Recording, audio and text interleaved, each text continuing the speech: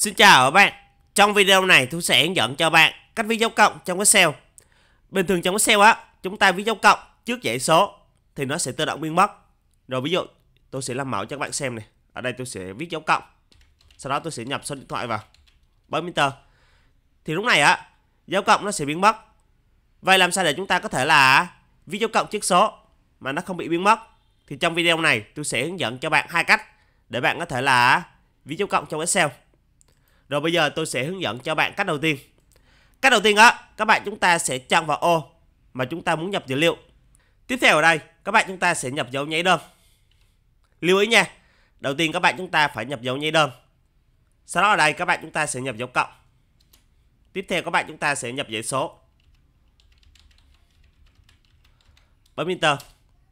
Thì lúc này các bạn quan sát nè, dấu cộng lúc này á nó sẽ không bị biến mất và nó sẽ hiển thị trước số.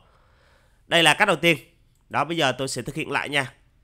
Muốn hiển thị dấu cộng á thì đầu tiên các bạn chúng ta sẽ nhập dấu nhi đơn. Sau đó các bạn chúng ta sẽ nhập dấu cộng và lần lượt các bạn chúng ta sẽ nhập số. Bấm Enter thì nó sẽ không bị biến mất. Rồi tiếp theo tôi sẽ hướng dẫn cho bạn cách thứ hai. Cách thứ hai á, các bạn chúng ta sẽ chọn vào ô hoặc cột mà bạn muốn nhập dấu cộng. Giả sử như bây giờ tôi muốn là toàn bộ cột G này. Tôi nhập số điện thoại thì tôi sẽ chọn vào cột G này. Sau đó ở đây tôi sẽ vào tab home. Và tôi sẽ chọn dữ liệu cho nó là dạng chuỗi, tức là test này. Các bạn chọn vào. Sau đó ở đây các bạn chúng ta sẽ lần lượt nhập dấu cộng vào và nhập số. Đó, do nó ở dạng chuỗi nên khi tôi nhập dấu cộng ha, nó sẽ không bị biến mất. Đó. Nếu mà Excel của bạn á khi vào tới home không thấy dữ liệu dạng chuỗi ở đây thì các bạn chúng ta sẽ làm như sau nha. Các bạn chúng ta sẽ chọn vào cột G này hoặc là cột mà bạn muốn nhập dấu cộng, bấm phải chuột chọn vào Format Cell. Tiếp theo các bạn chúng ta sẽ chọn vào tab Number. Ở đây các bạn chúng ta sẽ chọn dữ liệu là test. Ok.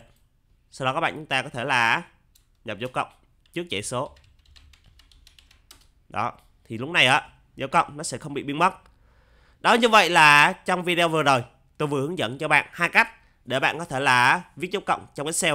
Nếu thấy video hay, hữu ích thì bạn hãy đăng ký kênh và chia sẻ cho nhiều người khác cùng xem. Cảm ơn bạn đã theo dõi.